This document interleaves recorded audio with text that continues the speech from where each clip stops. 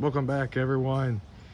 Today is Thursday, May 26th, 2022. And I'm really excited to share with you guys finally my lower garden, my in-ground garden, my planted garden is uh, finally 100% done.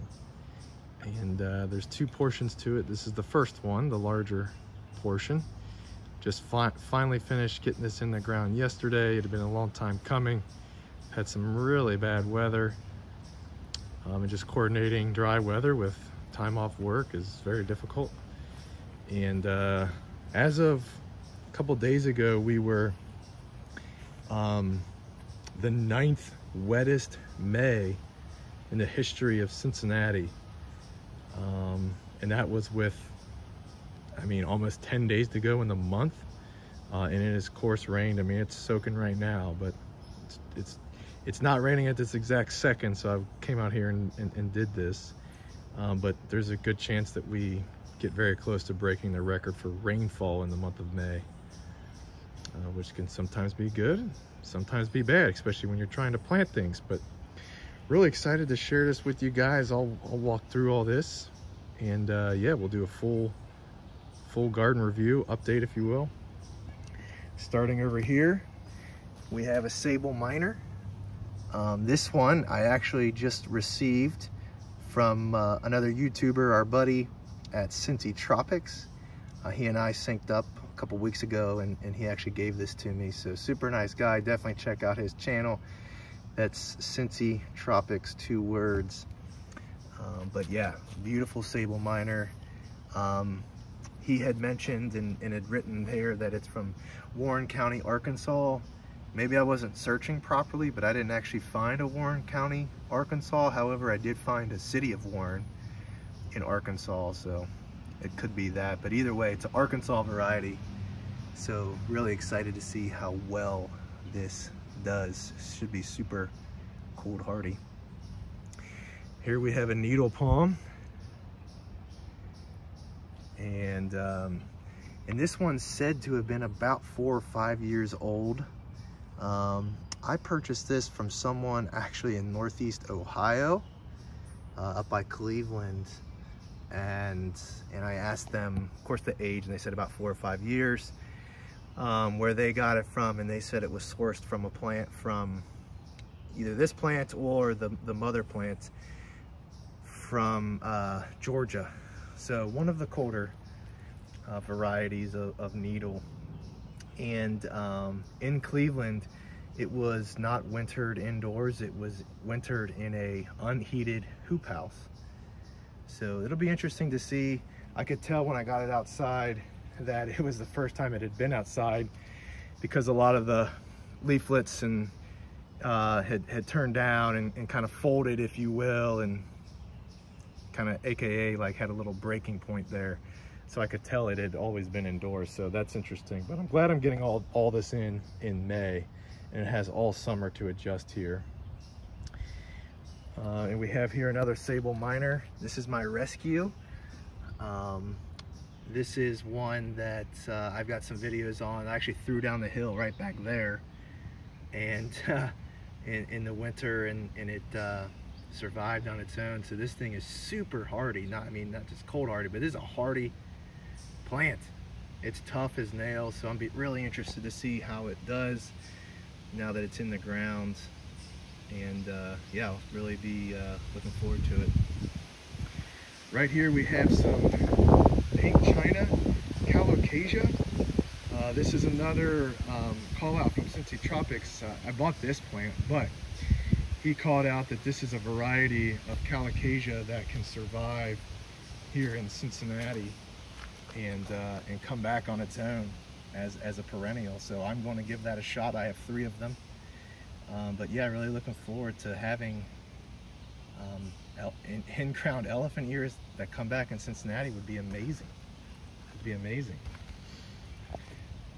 All right, moving back here, we got two bananas. Course, a staple, uh, Musa Basjoo. Sun's coming out a little bit. Um, I actually bought these from a, a, a nursery here called Natorps, and they actually produce um, their own trademarked cultivar called Northern Wonder. Um, supposedly has even more hardiness to it, so we will see. Um, but yeah, I have six of those, and uh, you'll see all of them. And then all throughout here, we have all types of canna lilies. Uh, let's see here, one, two, three, four, five, six, seven, eight, nine, 10, 11, 12, 13, 14, 15, 16. So rough count 16 canna lilies in here. Um, all different shapes and sizes and colors yellows, reds, oranges. Um, I think that's called a Bengal there. Pretty cool foliage.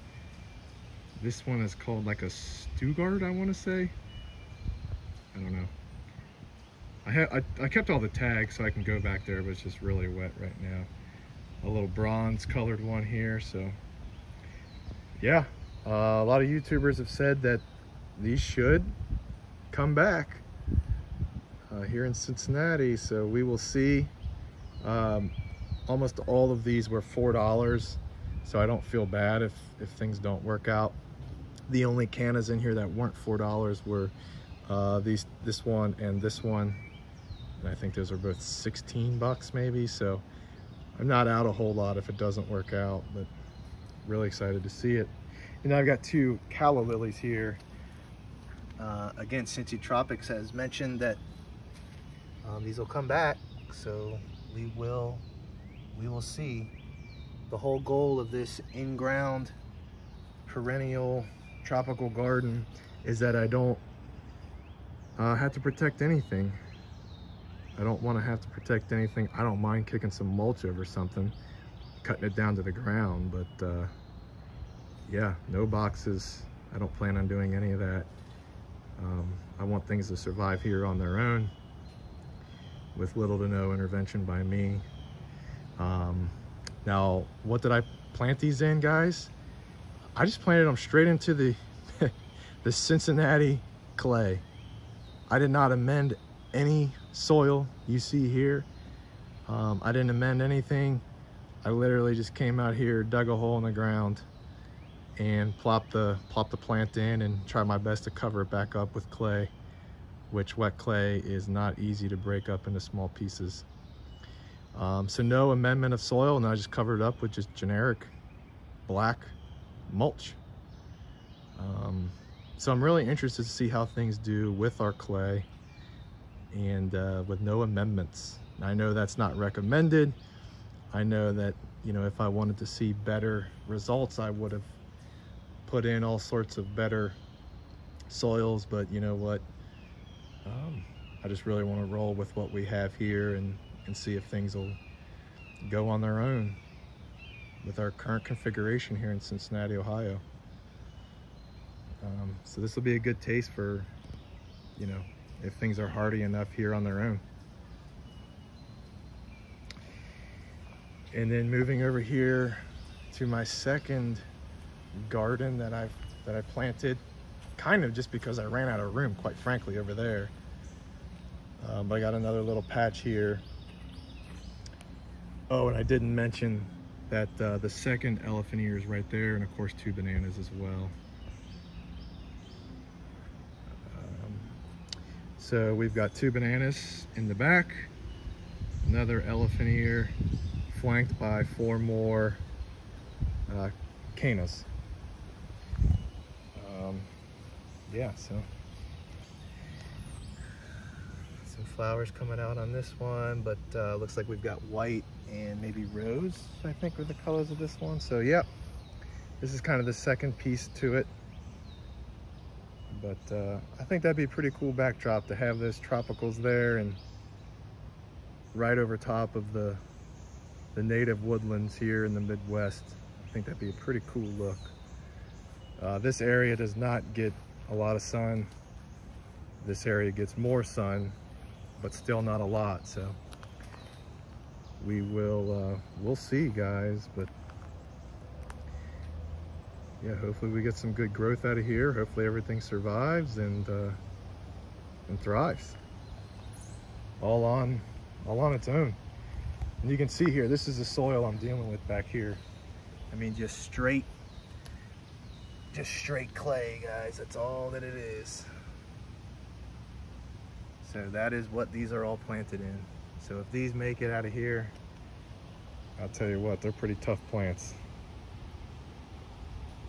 Especially things that like sandy soils or anything like that. So yeah, any questions guys, let me know. Um, again, I planted these things straight into the native clay soil. Um, I don't plan on protecting any of these other than cutting them to the ground. And uh, it's starting to rain again. And maybe mulching over them. Uh, but as far as the palms go, I plan on doing no protection. Um, my barn is right here. And, uh, and that's kind of why I put those where I put them. My barn to protect. This is due west right here. Uh, and then this is north uh, this way. Um, so obviously here, much like all of the eastern United States, the weather comes from the west. So um, hopefully we'll get some good protection there from that barn. That barn's unheated, of course. So there's not like any heating elements there. But uh, hopefully it'll protect for the western winds. For the northern winds, yeah, it's probably gonna get hit by that. Um, I'm up on top of, of this hillside, so we'll see. But yeah, there it is. That's the that's the lower garden. Let me know what you guys think. Thanks for watching.